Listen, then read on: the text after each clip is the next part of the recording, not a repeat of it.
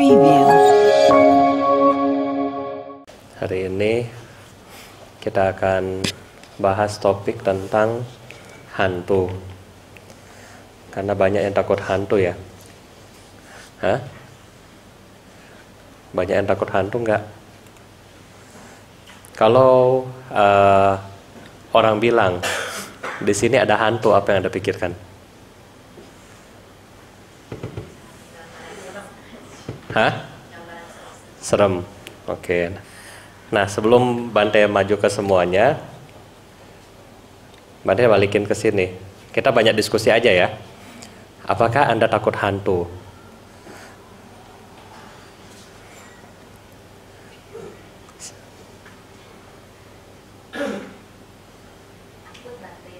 Takut nggak? Hah?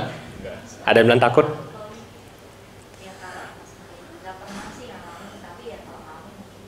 Kalau ngalamin takut. Bante juga mesti jujur ya. Bante waktu di Thai, itu waktu kita wasa pertama. Ini waktu wasa pertama, itu di tidur di ini ya di kamar kamar Bante lebih besar dari ruangan ini jadi mungkin kalau ruko ada sekitar mungkin lima ruko lebar kamarnya besar tidur sendiri dari tempat saya ke kamar yang lain ke kuti yang lain itu paling dekat paling dekat ya 5 meter eh sorry kalau mau jalan paling dekat 15 menit ya jadi mungkin kalau Bante punya kamar di sini kamar yang lain itu ada di City Resort Oke, di kiri kanan ini, di, ini view-nya bagus. Di sebelah kanan ada danau buatan. Di belakang ada pohon karet. Di depan taman. Di sebelah kiri stupa. Stupa ya, stupa. Kadang-kadang lihat, oh stupa itu bagus ya. Ingat Buddha. Pas sore-sore lagi nyapu, kok ada foto orang di situ? Kan kita nggak tahu kan? lihat ada foto orang di situ. Begitu itu tanya ke Bante senior di sana. Acan, Acan, ini apa ini stupa? Oh, ini kalau orang sudah kremasi, abunya taruh di situ. Oh, ya. Jadi hitung aja tiap hari lihat, oh ada lima stupa. Semalam, malamnya mau tidur kan? Di atas sini namanya kita apa ya di kota nggak biasa apa ya yang sunyi banget itu nggak pernah kan? Hampir nggak pernah. Walaupun di sini ini sunyi kalau malam tetapi lebih sunyi di sana. Anda mau lihat mobil satu hari paling banyak itu lima mobil kita lihat. Dan ketika malam kita sudah mau tidur kan? Pada sudah mau tidur di atas ini terdengarlah bunyi. Terdengar bunyi. Di atas ini deh. Jadi ini kasur kan, ini atas. Di plafon bunyi.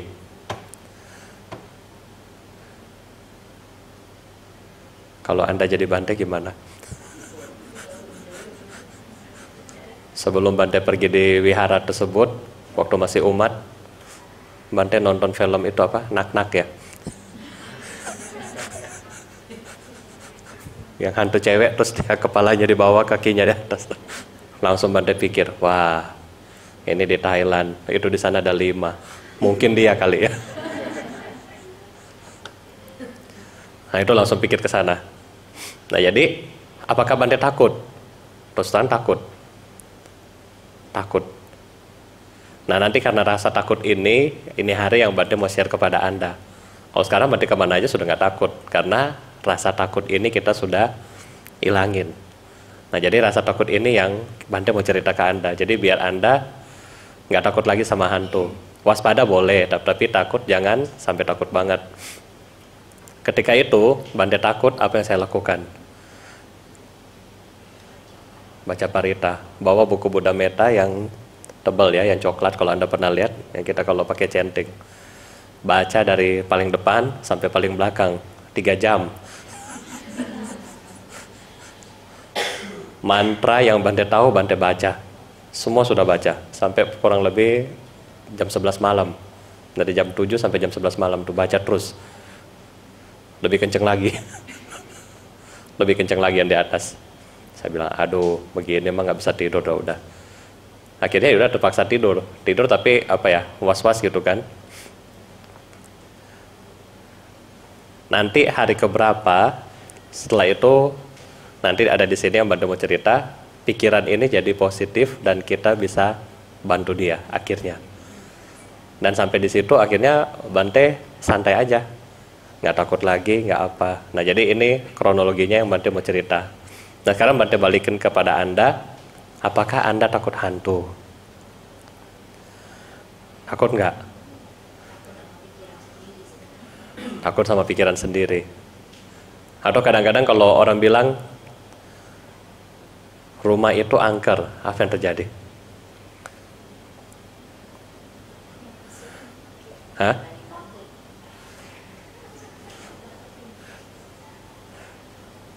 Oke, sekarang kalau Anda takut, yang bagian mana yang Anda takut? Ini ada empat banda kasih. Oh, kalau dengar suara, hahaha, wah takut langsung. Atau kalau lihat bayangan hitam, takut nggak? Atau kalau lagi jalan ke mana, bulu kuduk tiba-tiba merinding bante. Atau yang terakhir, penampakan.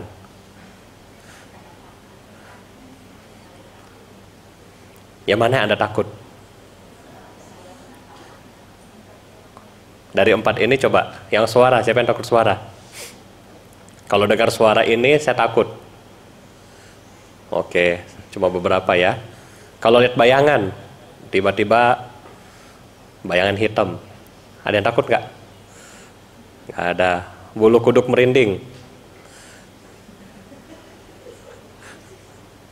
Penampakan. Oke, semua penampakan ya. Nah sekarang Bante tanya lagi. Dari semua yang angkat tangan tadi bilang takutnya sama penampakan. Siapa yang sungguh-sungguh pernah lihat? Ya sekilas sih, tapi nggak tahu kebenaran. Cuma sekilas. Oke. Tapi yang lain kan nggak pernah lihat kan? Terus ngapain ditakutin? Sebenarnya adalah pikiran yang bikin kita takut, bukan dari hantunya, bukan. Pikiran kita. Kenapa pikiran kita?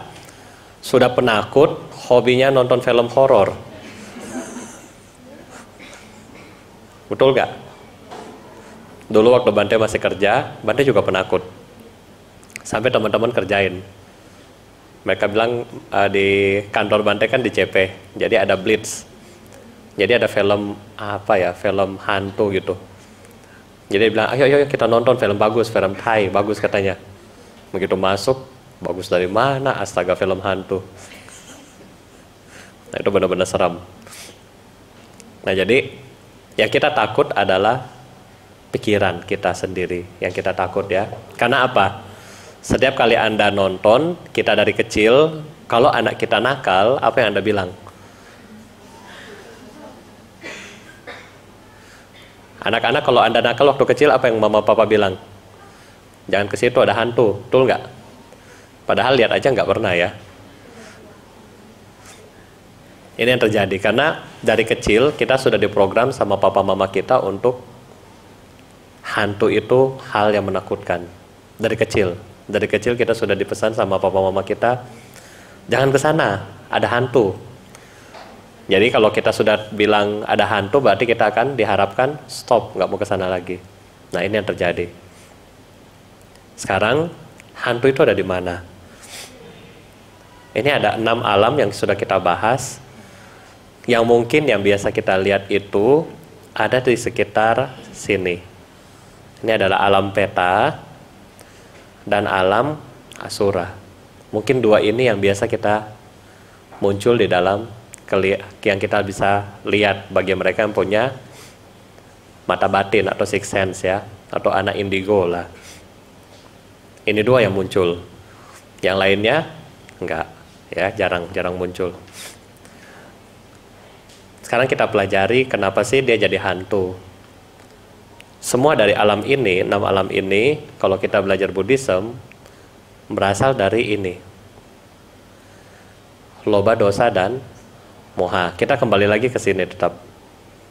Sekarang Bade tanya, Anda masih punya nggak loba, dosa, dan moha? Masih, ya udah calon.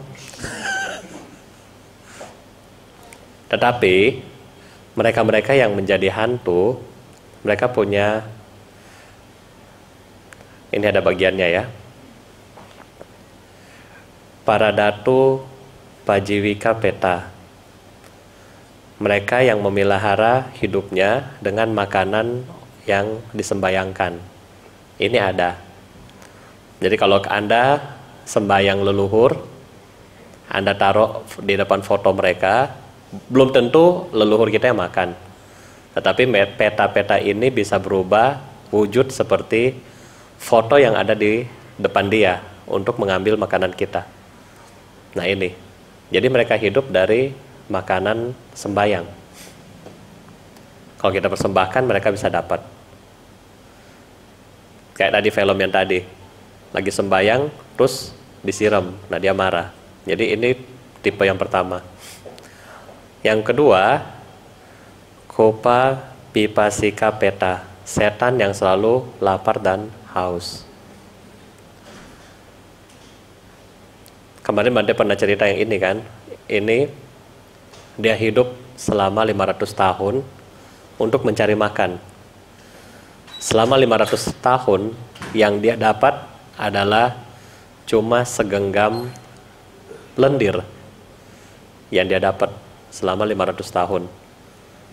Jadi peta yang ini dia akan selalu lapar dan haus. Karena selalu lapar dan haus, maka dia punya jasmani pun nggak sempurna. Nggak sempurna kayak kita. Karena dia selalu merasa seperti lapar dan haus. Terus setan yang selalu kelaparan.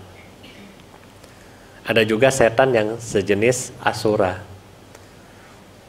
Ada setan tertentu di mana karma baiknya lebih tinggi, pelan-pelan dia bisa masuk dalam lingkungan-lingkungan suci seperti wihara dan seterusnya.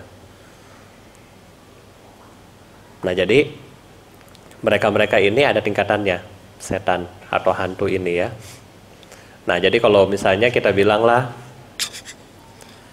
Bante, takut nih sama hantu. Yang mana dulu yang kita lihat? Tetapi kalau kita sudah tahu mereka ini bahagia atau enggak kira-kira? Enggak bahagia. Bagaimana dia enggak bahagia terus dia mau ganggu kita? Pernah pikir enggak sih? Dia kan lagi menderita, terus mau ngapain dia gangguin saya? Nah jadi hantu, kalau kita lihat seperti ini, nah mereka kita kurang lebih lah kita bilang mereka butuh bantuan kita dia lebih butuh bantuan dari Anda. Ada peta tertentu yang dia hanya hidup dari makan kotorannya sendiri. Jadi kita mesti bayangkan dia jongkok, Bante sih nggak masukin gambarnya. Dia jongkok, terus dia ambil makanan dari duburnya ya, maaf ya dubur, terus dia makan. Nanti sudah proses keluar lagi dari dubur, dia ambil lagi. Duduknya hanya dia hanya duduk dan daur ulang begitu. Ini ada peta yang seperti itu. Sangat-sangat menderita. Terus ada peta tertentu di mana peta tertentu mereka bisa tinggal di dekat wihara. Kenapa? Karena mereka butuh pelimpahan jasa dari kita. Peta yang seperti ini mereka sudah nggak butuh makanan. Mereka sudah nggak butuh makanan. Jadi mereka sudah nggak butuh makanan sehingga mereka bisa tinggal di dekat-dekat kita. Maksudnya di wihara atau di rumah bahkan peta tertentu bisa dekat dengan Anda. Eh serius ini. Mereka dekat sama Anda yang suka berbuat baik. Jadi kalau Anda suka berbuat baik, rajin ke tempat ibadah atau ke wihara begitu ya, mereka akan deketin Anda. Deketin bukan berarti membuat Anda itu menderita, enggak. Tetapi dia dekat sama Anda supaya apa? Ya, dapat hoki dari Anda. Dapat dapat rezeki, dapat kebajikan dari Anda ketika Anda tuang air. Kemarin waktu Bante di Manado. saya dapat telepon, Bante, anak yang diwihara minta makanan.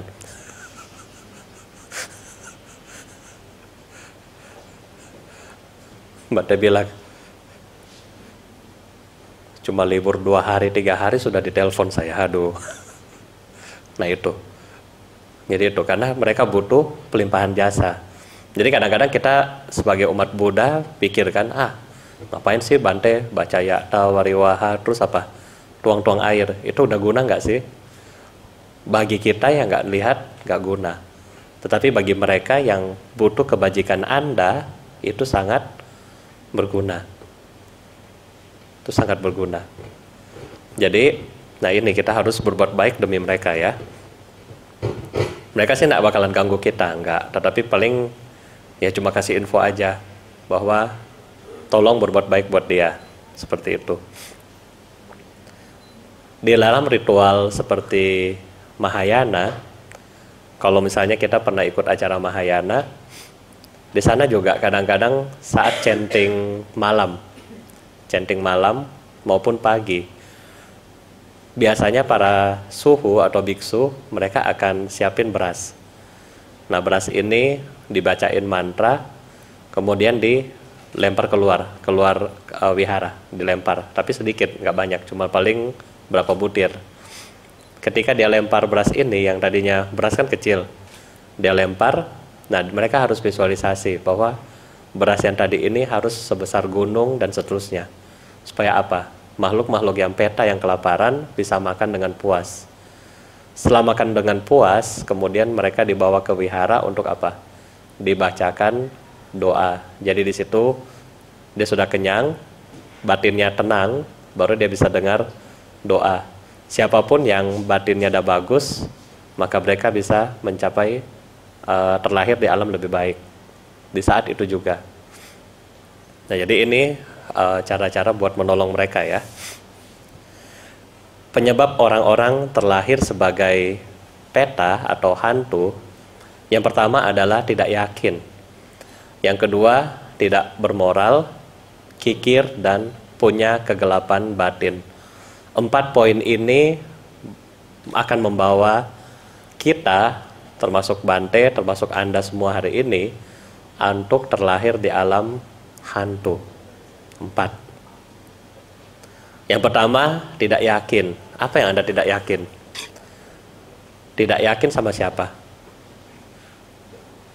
Tidak yakin sama Buddha Dhamma Sangha. Tidak yakin sama hukum karma. Tidak yakin sama kebajikan yang Anda perbuat Yakin gak sih? Yakin gak? Kalau kita yakin, kita apa ya? Contoh seperti ini, lagi corona, kita yakin kita lagi sehat. Ngapain kita takut? Betul nggak? Tapi kalau kita sudah nggak yakin kita sehat, takut nggak kita? Was-was kan? Aduh nanti bagaimana nih? Aduh nanti bagaimana? Jadi yang pertama kita harus punya yakin terutama di sini adalah yakin terhadap Buddha, Dhamma, dan Sangha. Kalau Anda yakin, gampang Anda bahagia. Bante kasih tahu yang kemarin tentang kuda. Kuda masih ingat gak? Kuda yang melayani pangeran si Darta. Begitu meninggal, cuma seekor kuda loh. Apa yang terjadi? Masuk surga cuma seekor kuda yang melayani pangeran. Yang kedua juga Bante harus ingatkan ulang adalah kodok. Kodok ini hanya dengar ceramah dari Buddha. Setelah dia ketusuk meninggal, dia lahir di alam surga. Nah, Bapak Ibu bagaimana?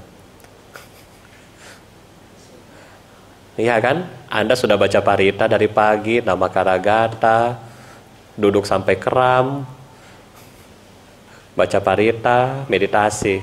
Terus Anda tidak dapat surga, kalah nggak sama kuda dan kodok? Iya dong. Berarti yang harus kita punya adalah keyakinan di sini. Yang kedua, mereka yang terlahir di alam menderita karena kebiasaan mereka untuk tidak bermoral. Tidak bermoral ini apa Bante? Tidak bermoral ini adalah tidak mempunyai sila yang baik. Membunuh, mencuri dan seterusnya. Bante nggak usah bahas. Makin hari karena kita di sini apa ya terlalu banyak yang kita apa ya munculkan adalah hoax dan sebagainya akhirnya di mana-mana pemberitaan negatif tersebar. Setelah pemberitaan negatif tersebar, anak-anak kita yang di bawah umur mereka nggak tahu kan. Mereka lihat, oh lucu, oh bagus. Akhirnya mereka tiru. Oh kalau ada ada ada di YouTube seperti ini nih bagus nih, bisa dia bikin. Terjadilah kemarin pembunuhan anak berapa tahun? 15 tahun bunuh umur 5 apa 6 gitu dan yang lakuin adalah cewek karena dia lihat apa oh kalau dia lihat di film ini bisa di film ini keren berarti dia bisa bikin nah ini adalah mereka yang tidak bermoral. Berikutnya mereka-mereka yang kikir. Kikir di sini bukannya yang bagaimana ya tetapi selain dia pelit dia juga serakah. Punya makanan semua dibeli sama dia. Lalu seperti ini.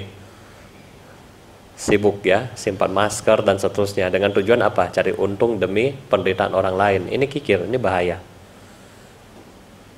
terakhir kegelapan batin. Sudah tahu yang dilakukannya salah. Sudah tahu harus ada penyesalan. Tetapi apa yang dilakukan? Buat lagi buat lagi buat lagi. Jadi empat poin ini bisa membawa kita semua terlahir kembali di alam hantu.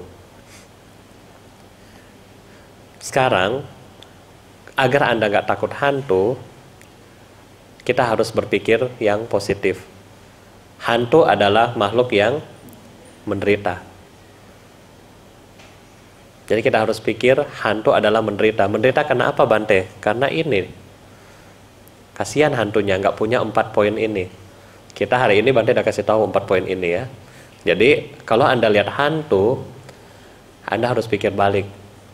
Hantu adalah makhluk yang menderita. Yang kedua, di dalam semua samsara, kalau kita bilang kita sudah terlahir miliaran kali, mungkin hantu itu bisa menjadi ibu kita di kehidupan lampau. Dan hari ini karena Anda sering berbuat baik, dia cari Anda. Oke? Okay?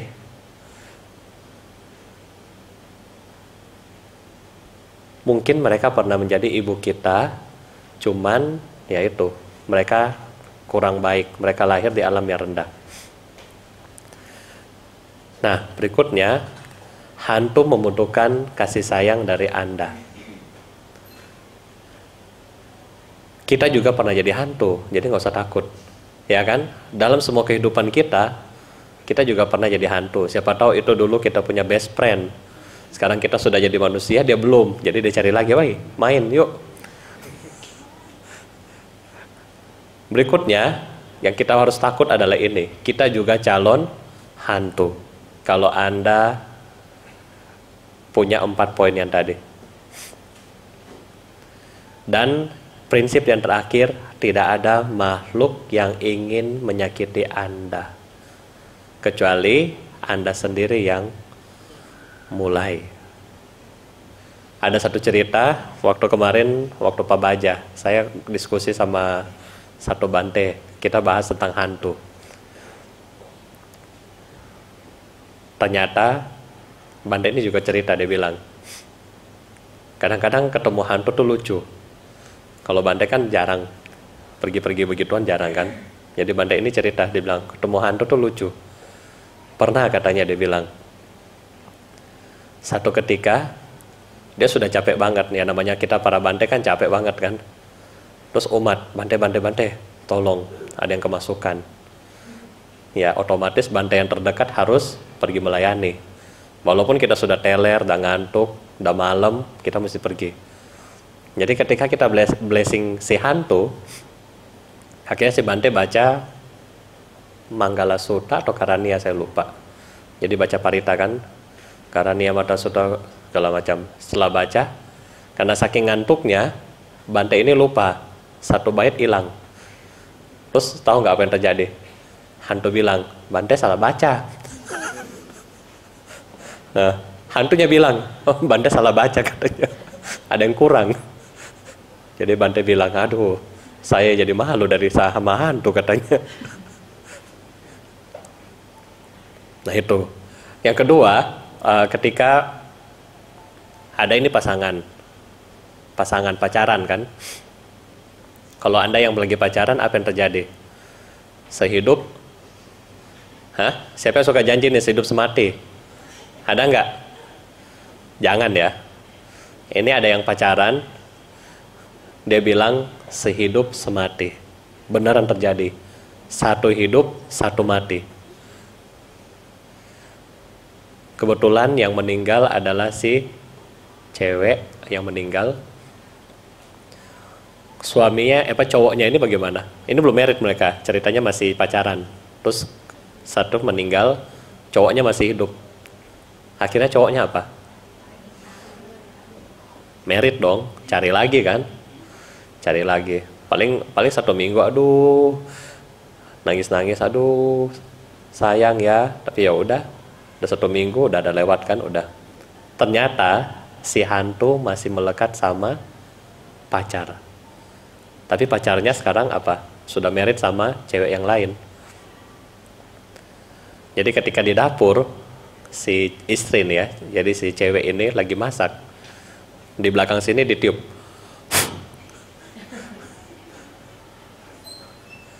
Terus kalau misalnya dia lagi apa? Dia lagi di bawah di dapur gitu kan sebelum terdengar tadi suara itu datang dari tangga tuh kenceng banget suara suara kaki. Kayak orang buru-buru dan apa ya marah gitu turun pupuk pupuk baru datang di belakang dia dan tiup yang tadi. Anehnya si suami ini nggak pernah tahu. Suaminya ini nggak pernah diganggu. Jadi yang diganggu sama si istri doang. Jadi dia apa si hantu ini cemburu sama si istri ya jadi ketika Anda pacaran, tolong jangan bilang sehidup semati. Oh jangan, bahaya itu. Kalau dia tahu, wah dia tungguin Anda. Cerita yang lain tentang sehidup semati juga. Dulu cerita lama ini di Hong Kong. Jadi ada satu anak SMA, satu anak SMA, dia lewat di daerah kuburan. Dia mau ke sekolah, dia lewat di daerah kuburan. Anak SMA ini cowok jadi dia lewat di kuburan, kemudian sejak dia lewat di kuburan itu, setiap malam dia didatangi sama hantu cewek. Sama hantu cewek.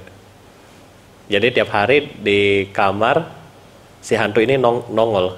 Akhirnya kan karena si anak nggak bisa konsentrasi dan seterusnya nggak sekolah. Kan namanya apa ya? Kalau kita mungkin lihat takut gitu kan, akhirnya kita nggak konsentrasi, nggak sekolah, sakit, Akhirnya dibawalah ke dukun. Sampai di dukun, ya namanya dukun kan apa ya sakti ya punya ke keahlian. Akhirnya dukun tanya ke ya, hantu cewek ini, kenapa sih kamu ikut anak SMA ini? Tahu nggak dia bilang apa? Saya sudah menunggu dia di sini 500 tahun. Minggu lalu dia lewat. Jadi saya ikut 500 tahun. Terus ditanya sama itu si dukun emang kamu siapanya? Oh ini dulu suami saya dia baik nih sama saya. Jadi karena itu hebat nggak? 500 tahun menanti cinta. Sayang ya satu hantu satu manusia.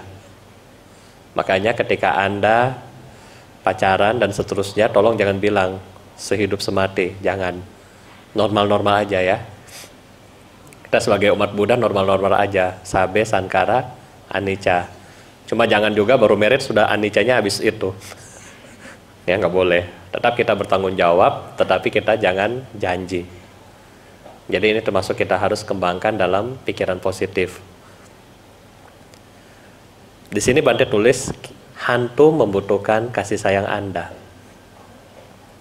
Kembali lagi waktu Bante cerita di Thailand. Satu ketika saya mimpi di depan kaca itu ada nenek-nenek begini ke Bante.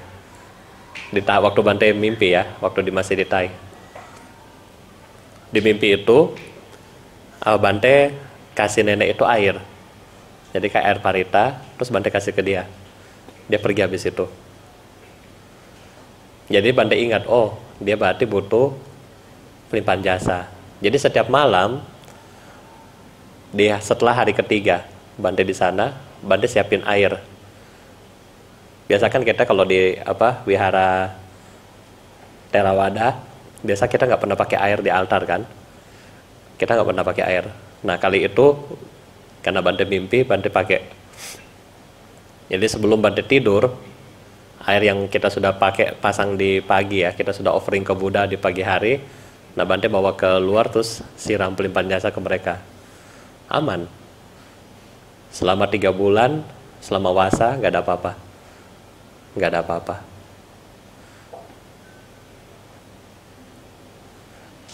Jadi mereka tahu kalau kita kasih sayang ke mereka, kita pancarkan meta ke mereka, mereka pun bisa protek kita, mereka nggak ganggu kita. Ini bukan cuma hantu, binatang-binatang yang kita bilang juga uh, binatang yang kayak apa ya, kayak uh, binatang liar, contoh ular. Karena kita di wihara hutan, kita kan biasa pakai ember untuk jadi tempat sampah. Setiap sore tempat sampah ini kita buang. Untuk sampahnya dibakar kan. Jadi malam hari, Bante mau buang tisu. Lihat di sampah gitu ada ini. Garis-garis. Saya ingat. Tempat sampah kita kan polos tuh. Ember polos kan, ember polos bening begitu kan, buat jadi tempat sampah. Kok di bawah itu ada garis-garis gitu kan? Namanya kita anak kota kita nggak pernah lihat beginian kan? Akhirnya ambil center oh ternyata ular ular garis. Akhirnya cuman oh ya udah yang penting kamu jangan ganggu kita ya. Udah nggak ada apa-apa. Jadi makhluk itu tahu bahwa kalau kita punya meta ke mana pun anda pergi anda akan selamat akan aman dan terakhir, hantu bisa bantu Anda. Pernah nggak dibantu sama hantu? Ada nggak? Nggak pernah ya. Mereka bisa bantu kita dalam hal yang positif, dalam hal yang positif. Kalau Anda sebagai tuan rumah, Anda punya rumah misalnya di sini, Anda baik, ada orang yang nggak bagus sama Anda mau datang, mereka-mereka yang nggak kelihatan ini bisa ganggu orang ini. Karena kenapa? Kita kan nggak bisa baca pikiran Anda, tetapi mereka bisa. Jadi mereka bisa bantu kita dalam hal ya kayak tadi proteksi. Tapi ini kita nggak butuh sebenarnya ya, tapi mereka bisa bantu karena mereka Anda baik sama dia, dia juga akan baik sama Anda. Dan agar tidak terlahir jadi hantu, Anda harus punya keyakinan. Seperti dalam buku Parita, Parita tentang aranye, itu ada di buku coklat, tidak ada di buku biru. Yang ini kita nggak ada, di buku coklat ada. Di situ dibahas tentang ketakutan. Kalau Anda takut, ingatlah kepada Buddha. Kalau nggak ingat sama Buddha, guru para dewa dan manusia, ingatlah pada Dhamma kalau nggak ingat sama Dhamma, ingatlah sama Sangha. Maka ketakutan nggak akan ada lagi. Jadi keyakinan ini penting buat kita ketika Anda sedang mengalami ketakutan. Yang kedua, Anda harus bermoral biar nggak lahir jadi hantu. Berikutnya, kita sudah harus mulai beramal. Bante yakin Anda semua di sini kalau ini kita sudah nggak usah bahas. Tetapi yang terakhir, kita harus punya bijaksana. Kita harus punya bijaksana, harus tahu prioritas hidup Anda ini untuk apa. Itu orang bijaksana. Kalau kita nggak punya ini, nah kita bisa jadi hantu ya. Oke. Setelah hantu, kita bisa tolong mereka dengan cara seperti pelimpahan jasa. Kita bisa pelimpahan jasa. Nah ini Bante nggak usah bahas atau mau bahas? Ini sudah kan? Contoh yang ini, Raja Bimbisara. Yang kita sering pakai sekarang uh, pelimpahan jasa yang pakai air. Ini aja deh Bante ceritain. Ini berasal dari Raja Bimbisara.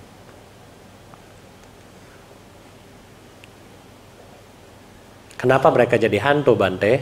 Mereka jadi hantu karena ini sekarang Buddha Sakyamuni, Buddha sebelumnya, Buddha sebelumnya, dan Buddha yang pertama mereka sebut adalah Buddha Pusa. Mereka lahir semua di zaman Buddha Pusa. Mereka melayani Buddha Pusa waktu itu, tetapi ada beberapa orang yang iri sama Buddha Buddha sudah banyak makanan, gak usah lah kita orang dana makanan, kita yang makan. Sisanya kasih Buddha. Akibat perbuatan buruk ini, mereka lahir di alam neraka. Yang baik, mereka lahir di alam surga. Nah, setelah Buddha Pusa, masanya ribuan tahun, selesai, munculnya Buddha berikutnya. Di Buddha berikutnya, sanak keluarga mereka yang lahir di zaman Buddha kalau nggak salah Buddha Kokusanda. Manda lupa nama Budanya nah di sini mereka berbuat baik atas leluhur mereka yang lahir di neraka. Tapi waktu itu Buddha cuma bilang apa? Karma buruk mereka buat itu terlalu banyak. Jadi sekarang mereka cuma bisa naik satu tingkat. Dari alam neraka naik ke alam peta hantu kelaparan. Cuma bisa naik satu tingkat Terus mereka menderita di alam peta dua periode Buddha ya. Terakhir di Buddha Sakyamuni. Di Buddha Sakyamuni dia punya keluarga adalah Raja Bimbisara. Raja Bimbisara ini kemudian setelah berdana kepada Buddha, waktu itu dia mau ingat nanti malam Buddha mau tidur tinggal di mana ya.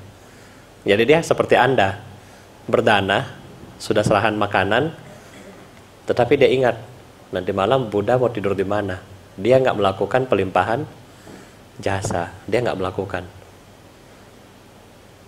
Anda tahu malam hari makhluk yang dari Buddha Pusa ini sudah di neraka lama.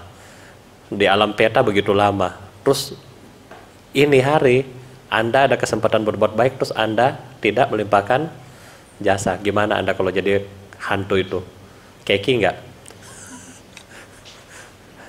Hah? Anda sudah tunggu sekian ribu tahun loh. Eh dia lupa lagi. Keki akhirnya datang di istana, bikin suara yang aneh-aneh, bikin Bimbisara ini takut. Setelah Raja Bimbisara ini takut, besok paginya dia tanya kepada Buddha, apa sih yang terjadi? Nah Buddha ceritain, mereka tadi menderita dah lama, kamu nggak berbuat baik sama dia. Maka mereka marah, akhirnya mereka datang ke istana. Ini sama terjadi dengan kita. Ketika Anda berbuat baik, apa yang Anda lakukan? Banyak banyak nih sekarang ibu-ibu milenial kan, bawa makanan ke Bante, piringnya difoto, dana makan ke wihara ini, check in, terus masukin Facebook. Ketika para Bante pelimpahan jasa, dia cuma lihat, wih sudah banyak nih yang like Facebook saya nih. Akhirnya dia lupa pelimpahan jasa. Nanti kalau leluhurnya datang di rumah, nggak tanggung jawab. Iya kan? Karena yang dapat kebaikan kamu itu teman-teman kamu bukan makhluk. Jadi ketika kita melakukan pelimpahan jasa di sini, kita harus fokus, ya, kita harus fokus sungguh-sungguh. Nah setelah itu Buddha mengajarkan, ya udah, kamu dana lagi, karena Buddha punya kesaktian, punya abinya ya, batin yang baik. Ketika itu dia menunjukkan semua yang ada di istana. Jadi ketika proses dana makanan, makhluk-makhluk yang tadi yang tidak kelihatan, yang peta-peta keluarga dari Bimbisara ini muncul, dikasih muncul sama Buddha. Jadi semua orang yang ada di sana bisa lihat. Begitu Raja Bimbisara dana air kepada Buddha, Buddha begitu pegang, langsung kelihatan makhluk-makhluk yang tadi begitu kotor, langsung jadi bersih putih. Begitu dana makanan, badan yang tadi begitu kurus, langsung berisi. Begitu beliau dana jubah, yang tadinya nggak sudah berisi tapi telanjang, langsung punya baju surgawi. Nah jadi di situ baru uh, seluruh istana melihat keajaiban ini keajaiban dari berbuat baik. Ya, ini sembahyang leluhur, Bante sudah nggak usah bahas dulu. Agar pelimpahan jasa bermanfaat, karena ini Anda akan masuk ke bulan Cengbeng ya. Nanti Anda akan pulang ke kampung masing-masing. Agar pelimpahan jasa yang Anda lakukan setahun sekali ini bermanfaat, tolong lakukan dengan motivasi yang baik. Anda harus ingat kebaikan mereka dan kita tolong mereka. Yang kedua, tulus dan cinta kasih. Yang ketiga, konsentrasi. Lagi doa, tolong HP dimatiin dulu. Jangan doa setahun sekali, cuma pergi selfie di kuburan, terus tiam hio cuma buat apa? Formalitas. Ya. Nah, terus kita harus melakukan pelimpahan jasa, yaitu timbunan kebajikan bagi pemberi dan penerima dua-duanya akan mendapatkan manfaat. Ini yang kita harus lakukan untuk menolong makhluk-makhluk yang menjadi hantu tadi. Ini simbolis ada air dan makanan ya. Ya, mungkin ini yang bisa Bante sampaikan karena waktu kita sudah habis. Mudah-mudahan Anda bisa bermanfaat dan Bante harapkan habis ini jangan takut lagi sama hantu. Ya. Tetapi yang Anda harus takut adalah kalau kita sendiri mati baru jadi hantu. Nah, itu yang kita harus takut. Oke, mungkin ini yang bisa Bante sampaikan. Semoga semua makhluk hidup berbahagia. Sabe sata bawantu suki tata. Sadu, sadu.